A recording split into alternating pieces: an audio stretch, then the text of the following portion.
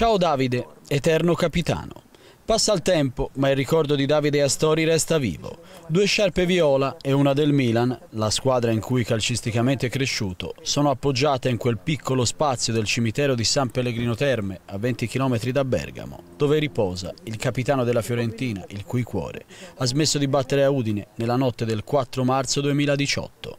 Una persona per bene, un ragazzo gentile, mai una parola fuori posto, una figura in grado di unire il mondo del calcio in un unico sentimento di profonda tristezza. Tra i tifosi viola che hanno approfittato della trasferta di Brescia per rendere omaggio al capitano per sempre al cimitero di San Pellegrino Terme abbiamo incontrato Claudio e Antonella, una coppia di Agliana che ha lasciato sulla tomba di Davide Astori una bomboniera del recente battesimo di un nipote. Claudio e Antonella avevano conosciuto Davide insieme alla madre Anna, il padre Renato e il fratello Marco, una famiglia che non ha mai abbandonato questo piccolo borgo ai piedi delle Dolomiti.